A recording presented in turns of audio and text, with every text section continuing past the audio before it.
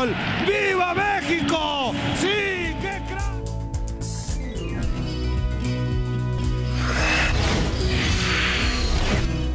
¿Cómo se lo